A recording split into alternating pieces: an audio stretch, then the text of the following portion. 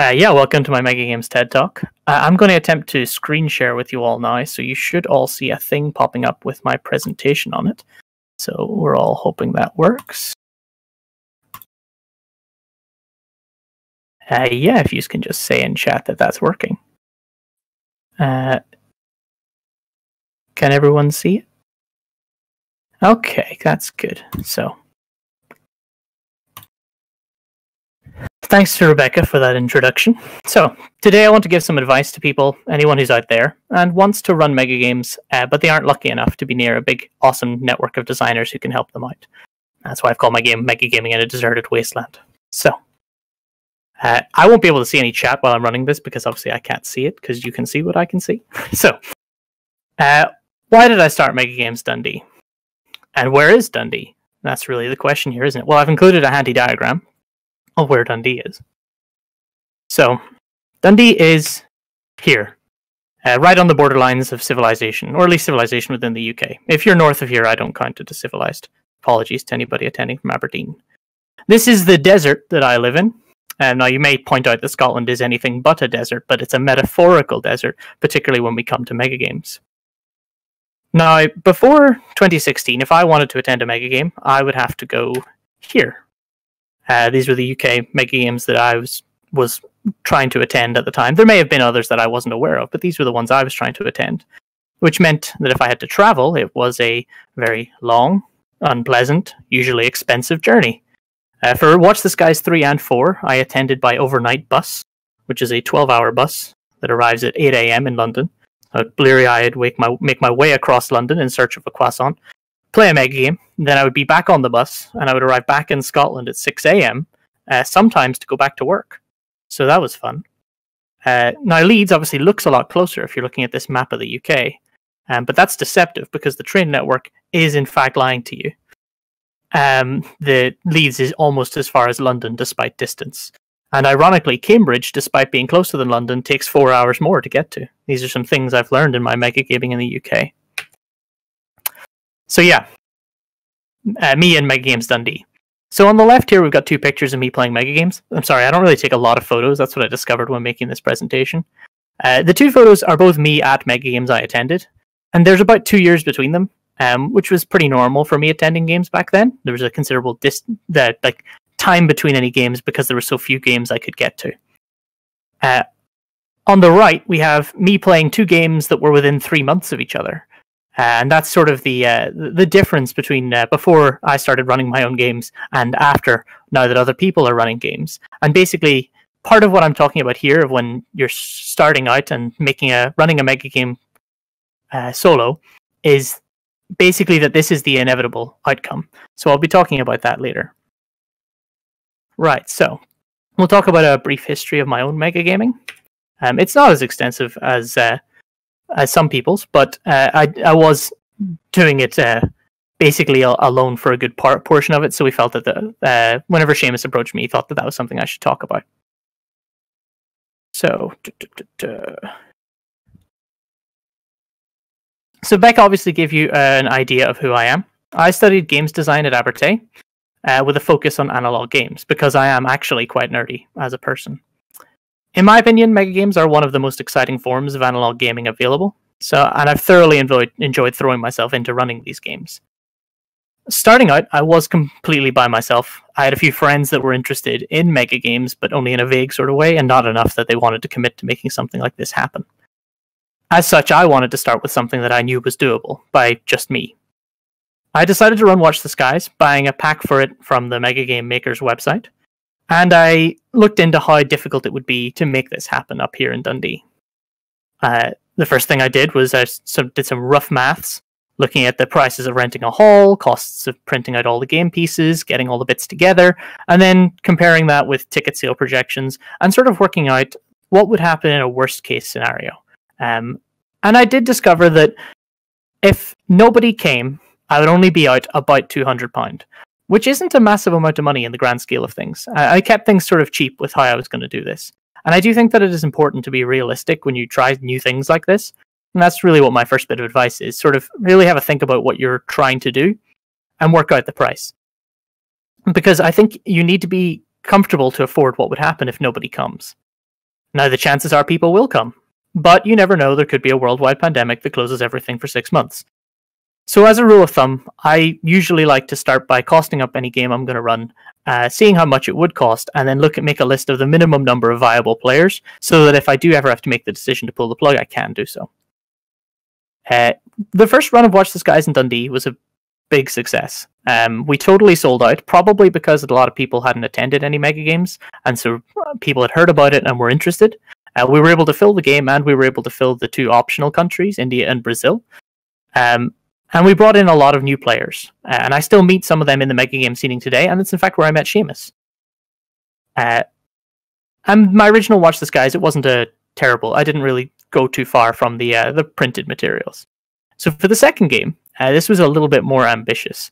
Uh, this was basically what I wanted to do was sort of uh, capture that idea of legacy. Um, in particular, we see this now in a lot of game designs, such as the legacy genre, like Pandemic or Risk Legacy. Uh, we also see it in any video games by BioWare with the uh, Dragon Age and Mass Effect sequels, building on this idea of picking up where you left off.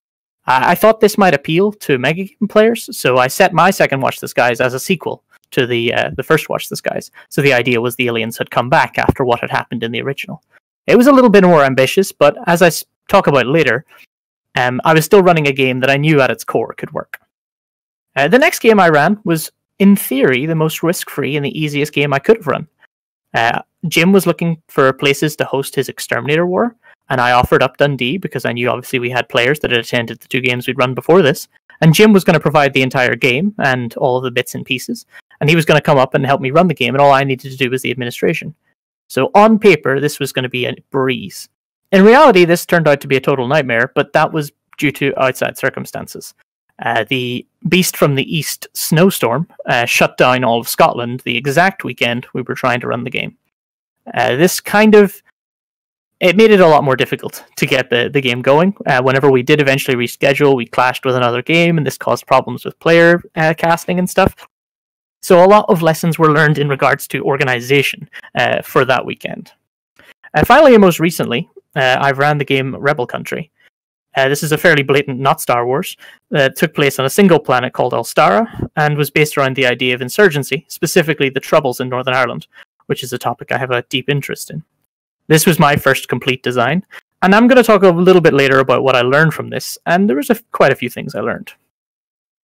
During my development of Rebel Country, uh, Seamus invited me to get involved in starting True North, an initiative I backed enthusiastically for the very selfish reason that I wanted to play more games uh, rather than just constantly having to try stressfully try and run a game uh, every year, so that at least I'd have one mega game a year. So yeah, we'll talk about my advice on how to go about doing this sort of thing solo. So I've taken my, honestly, not that much knowledge that I've gathered, and I've distilled it down to what I think are three main points that I think applying to apply to running a mega game without a network. So the first one, don't reinvent the wheel. This one is pretty basic. I don't recommend that anyone run a game that they designed as their first game if you're operating on your own if you have a bunch of mega game experience or you're in an area where there are a lot of other mega game designers that can help you out, then honestly, you could definitely run uh, a game that you've designed. But if you're in an area where you're the only person that really wants to do this sort of thing, or you're running the first game that the people in this area have seen, I wouldn't recommend trying to start from scratch. Start with something that's already there. Um, now, Becky mentioned exactly these two games, um, and for exactly the same two reason I have. Uh, Watch the Skies by Jim Wallman and Den of Wolves by John Mizon are both incredible games. Uh, they both are very easily accessible. Uh, they're purchasable on their on their websites, and both are really well put together component packages. And I can't recommend I can't recommend them enough as just a great game right out of the box, both for the control to run it and also for the players.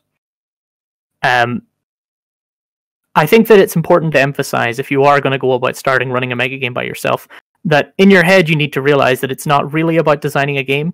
Uh, making a game like this happen and getting uh, 40 to 50 people into a room to play it, it's more of an exercise in organization than it is to do with uh, the actual game design. Uh, organizing components, the venue, ticket sales, marketing, casting will end up using far more of your time uh, than the actual design will. um, because you do just constantly have to deal with so many questions and communication. Now, perhaps you might not want to run Watch the Skies or Den of Wolves. Maybe you've seen or played both of those. Maybe the people you think are play- that you're looking as your audience will have played them both. I would still recommend that you purchase a game like this, a fully fledged game. It might not necessarily be one of these, there are other games available. I think purchasing a game like this or purchasing a game gives you an idea of the scale of the number of components you need. It gives you an idea as to what sort of things you need to produce for your own game, and quite possibly will provide you with very usable mechanics that you can then put together with your own theme and setting. So don't reinvent the wheel. Don't work on. Don't try and build new things which are unnecessary. So. So you want to innovate on your mega game.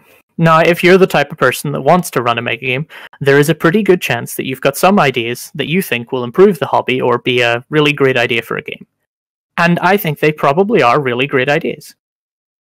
In my humble opinion, however, the trick is that when you start out, you should probably just innovate on parts and leave the basis of the game intact. Now, these images are all from whenever I ran Watch the Skies 1 and 2. Uh, so, Watch the Skies 1, I did the classic change. I changed the aliens. As I think everyone ends up doing this if you're running Watch the Skies because if there's a chance other people will be aware of the sort of standard um, outcome of Watch the Skies, so you want to sort of change up on that. And because the aliens are so mysterious, it's not difficult to change them without sort of affecting the overall mechanics of the game. I ended up putting in two alien races. Uh, this was a little bit ambitious and actually ended up sowing quite a lot of confusion, which was great for the players, but not so great for control because the game actually isn't that well uh, designed for having two factions of aliens, and I didn't fully account for that. Um, so that's a sort of minor lesson in and of itself. In the second image, in the middle, uh, you can see basically an idea I had, which was to uh, start including more NPC factions. So basically having control-led entities that would sort of develop the game. This is particularly good because it doesn't involve changing the nature of the game for your players, um, but it can help change the narrative of the day. Now, specifically, the narrative of the My Watch the Skies 2 ended up having a um, basically ancient weapons of mass destruction buried inside pyramids that started to activate all over the earth. And this had a great unifying effect of bringing the players and uh, from both the aliens and the human countries together to sort of uh, start dealing with the crisis and because it's control led, it's very easy. It's much easier to um, scale it uh, according to what the player's actions are, and also to ensure that its intensity hits just right. Um, if the players are making more than enough of a mess by themselves, it can be really good to have something that can just doesn't increase the intensity just now, or if things are going very quietly, maybe upping the intensity slightly. Uh, next are two excerpts from two of the briefings I included with my Watch the Skies 2. Uh, the base game of Watch the Skies divides players into roughly there's the alien teams and there's the national teams, which are the countries of the world. Um, but Watch the Skies 3 and 4, the two bigger ones run in London, uh, also included a lot of uh, extra nationals, uh, things like uh, religious groups, terrorist factions, and corporations. this was something I really enjoyed, and seeing as how Watch the Skies 1 had went so well, I decided to expand my Watch the Skies 2. So we had the same number of countries, but we also had three corporations and an organization called the Long Watch. Uh, the Long Watch was definitely not XCOM that the players had established at the end of Watch the Skies 1. Um, so I made them a player playable group. They were a group of paramilitaries that basically went around the world begging the uh, countries to fund them. Uh, in the end, they shot the Secretary General of the UN uh, because they didn't agree with the amount of funding they had received and the amount of negotiation with aliens that was occurring. The corporations had a sort of different game, being extra national entities. They were sort of manipulating countries into making as much profits as they could. Uh, one of the countries tried to convince China to invade Norway. Um, who, China awfully quick to agree to that, though, before we explained to them the consequences.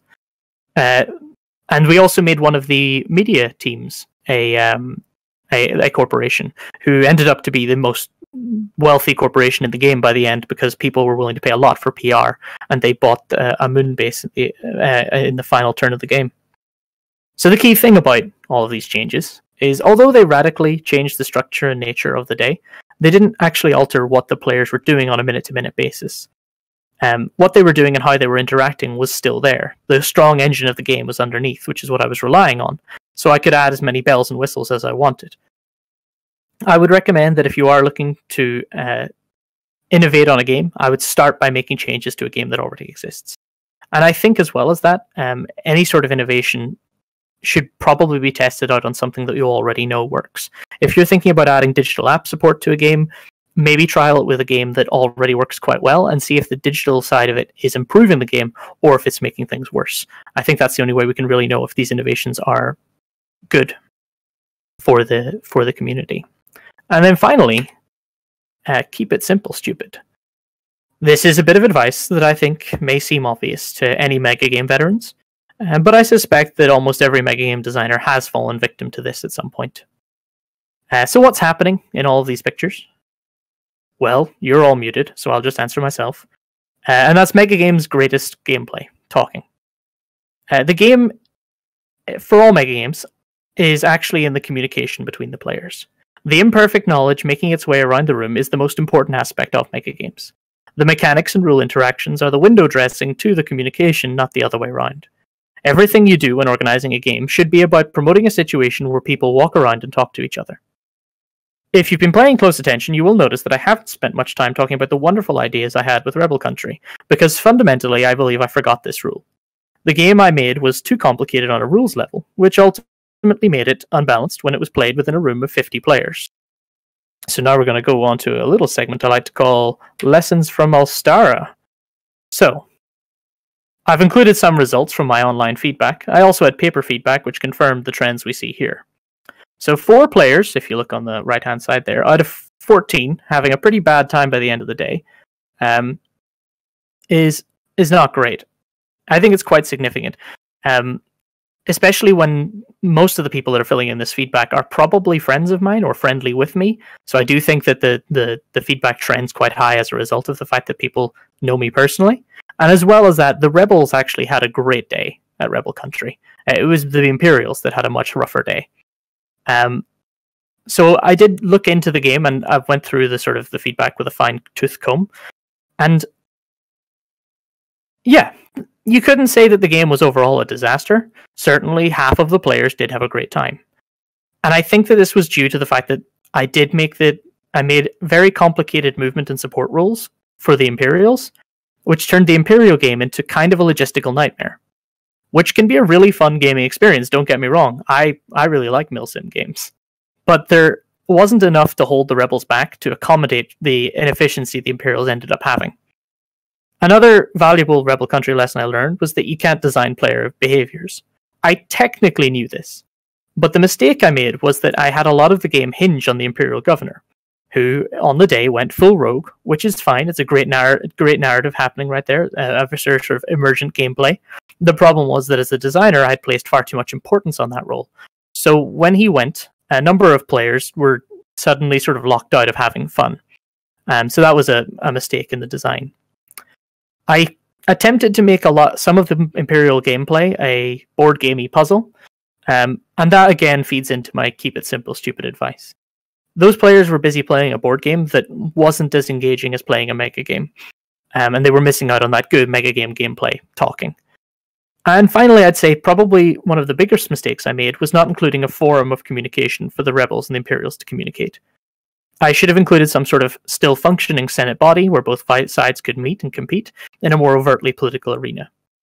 Uh, I realized this after the fact, um, in particular as well, with sort of more Star Wars knowledge as I learned um, that I just picked the wrong era. I should have picked pre A New Hope, um, or just not set it in Star Wars. Both of those would have been better decisions than what I ended up doing. Uh, so, in short, simple mechanics are good mechanics, and always make sure that your rules have recourse for a control to resolve situations not covered in the rules. So, yeah, conclusions. Uh, I understand that I might sound like maybe this is not worth attempting to do. Maybe this is uh, maybe a little bit too rough. Maybe it's not for you. But I can't emphasize enough how rewarding running your own games can be. And don't fear, there is lots of support available. I put some logos up on this slide to sort of give you some ideas, um, such as uh, tools that really help make these games work. Uh, Google Drive uh, makes online collaboration incredibly easy. Uh, it's completely free and it's so easy to share and work with people, even if you're separated by distance. Uh, PayPal is fantastic for just ensuring customer um, uh, customer trust. Uh, when people know that they're paying you by PayPal, they know that that is a backed up thing that they can get paid back on, if and they know that they're not going to be scammed. And Eventbrite has been useful for just creating a sort of flashy front end uh, that means whenever you do tickets, it looks like a, a professionally run event. And you can set up all of this, and I had this all set up from my first mega game. So even without the support of anyone else, I was able to set all this up by myself. But much more importantly, I cannot emphasize enough how great the community mega games have built up. There are literally people lining up to help each other all over the internet. This crisis has been fantastic at showing that. Uh, Becky talked about this a little bit, but yeah, in the short period of lockdown, uh, I've seen at least five or six different quarantine games that have been started digitally, built from scratch, and willingly tested and controlled by volunteers to make it happen over what has been a very short six to ten week period. I've included the logos of some of the local networks that I've interacted with, all of which are run by fantastically friendly and welcoming people. And there's someone in all of these groups who will happily step up to answer any questions a burgeoning designer may have. In most of those groups, it will probably be Jerry. The knowledge base is out there to make your mega game dreams happen. So thanks for listening to my slightly rambling, hopefully slightly useful TED Talk on mega games. I'm now happy to answer any questions you have. Okay, thank you very much, Ciaran. Um, if everyone wants to start putting their questions into the chat, we can get the ball rolling for that. And uh, can we get some claps in the in the general as well? Okie dokie. So Rose, um, how long did? Oh, I just ended my screen. I'm still here. Sorry, it made me panic. I thought we were having technical. No, no. Issues. Um, how long did it take you to find and arrange the venue for your first mega game? Uh, so I'm very lucky. Uh, we have a really great venue in Dundee. Um, I only uh, visited about three or four venues. Um, in Dundee, there isn't that many venues in general, to be honest. Um, but the venue I ended up using was one that I'd already was familiar with as a result of uh, doing sports. So in reality, I had a venue pretty early on. Um, so I'm afraid it didn't really take me that long, um, and they were they were very happy to sort of negotiate on price. Magic. Um, one from Kenny. Uh, when working on a new or tweaked version of a game, what are some of the ways you have used to test the mechanics, functionality ahead of the big day? Yeah, so obviously it's very difficult to test uh, the scale of a mega game. Um, I think that's probably one of the biggest challenges. Uh, the easiest way I find is to get maybe five or six people into a room and each one of them to act as part of a, uh, act as the entire mind of a single faction and basically run through the mechanics. Um, when doing that, I do still think it can be difficult to sort of predict, um, which is why I sort of emphasized a lot about basically using mechanics that you already know works and making your mechanics as simple as possible. Um, so yeah, basically small testing breakouts is is the main method that I've used. Marvelous. Will the summary of the presentation be available? Is Nick's asking. Yeah, I can easily put my presentation up. Obviously, the presentation is mostly pictures, but I've got all my notes written down, so I'll happily provide those as well. Um, I'll get those somewhere up uh, for the uh, uh, somewhere on the True North, probably on this Discord. I think we'll be able to put that somewhere and Yeah. maybe pin it into the general symposium. And also, I mean, I guess the recording is going to be available. I think Seamus has mentioned that. Yes, I believe uh, Becky's actually recording the whole hmm um, event today, so people will be able to watch back. Um, so we've got another question from Ed. A second request for the summary. Blah, blah, blah. Okay, Yeah, that's kind of related That's just- to the uh, yeah. presentation one. Yeah, um, I'll, I'll happily provide that. cool. Um, stone, paper, scissors. What is your next game going to be about? Uh, this is interesting because I had a game planned that would be roughly at the end of next month if uh, lockdown hadn't occurred. It was going to be basically very office space. Um, but when I started writing it, it was like uh, December, no, November last year. And it was going to be very much about sort of like evolving political situation around the UK and Brexit and sort of a satirical look at that sort of thing. Um, and then this year has just been such a roller coaster that that game is just outdated. There's just there's no, no way it could work now. So I honestly don't know what my next game will be. Um, I have some ideas and things that I'd like to try. Um, I mean, maybe. maybe Rebel Country 2, but I think that that game just needs to be rebuilt rather than. I don't know if a sequel is a good idea.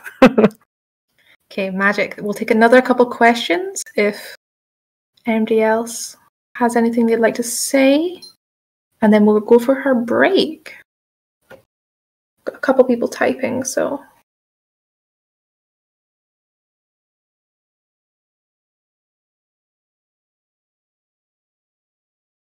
Okie dokie. If you had to promote mega games in a region where they hadn't happened at all before, um, would you do it similarly to how you promoted mega games in Dundee, or would you change your approach? Uh, that's a good game, uh, good question, Ed. Um, I think that if you're looking to promote mega games in an area, particularly in-person mega games, um, I think you need to really be involved in that area. I don't know how you could possibly uh, promote games remotely, if you know what I mean. Um, so in Dundee, I was big, uh, particularly when I was running Watch the Skies 1 and 2, I was big in running uh, weekly role playing games in our local pub, uh, as well as connections with our local uh, friendly local game store and a board gaming club that was happening in Waterstones. So at the time, I was meeting an awful lot of the people that were already playing traditional sort of analog games. So I knew a lot of the people that were interested. And I do think that that is part of what sort of helps organically grow it. But saying that, I was lucky enough that lots of people did end up coming from other places.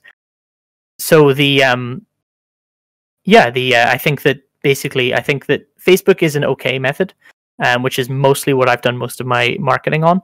I do think that there's probably a challenge coming up now as more and more people move away from Facebook, trying to find an equally good online method to sort of share information and contact people. Um, it's not one that I have actually solved yet, though. So, because uh, yeah, I didn't I've cancelled the game I was running this year. So magic.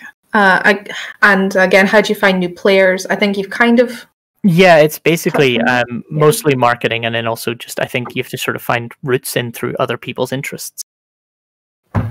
Um, thank you, Matty. And one last question from Becky. Becky, um, are there certain genres that you think work better for new communities, both Watch the Skies and Den of Wolves are sci-fi? Do you think that this genre is better for new mega game groups? Are there any other genres that you would think would work really well? Uh, I actually, I actually think that uh, genre. I think any genre could work. Um, I was super psyched when I saw Tropai uh, last year, and I mean, my game this year was going to just be based on sort of like working in an office, but a slightly satirical one. Um, I do think that sci-fi is an easy draw for the particularly uh, the expected board games community. Um, I think that people already like a lot of uh, board gamers in particular, like things like Warhammer, and you've also got like the Star Wars sort of um, tabletop games. Um, I think that's what makes sci-fi such a strong in but I think equally sort of like the real world genre can attract a lot of people. Um, I do know that a number of the people that attended Watch the Skies 2 were attending it from Glasgow because there was a group of people out there that were really interested in the real world politics side of things. Um, they were sort of only vaguely interested in the aliens part of it. They really just wanted to pretend to be countries and talk about sort of like trade relations and stuff. And a couple of them mentioned that the aliens were just a little over the top for, in their minds. Um, so I do think that any genre could work. Um, but I think if you're starting a community from scratch, I think it's better to start with something that will definitely work. Um, but I don't think the designers should feel that they should limit themselves in, in genre. I think that uh, growing new genres is definitely the way to go, um, especially with uh, your definition of the third generations of designers. I think that's uh, a, a real positive motion. Fantastic. Okay.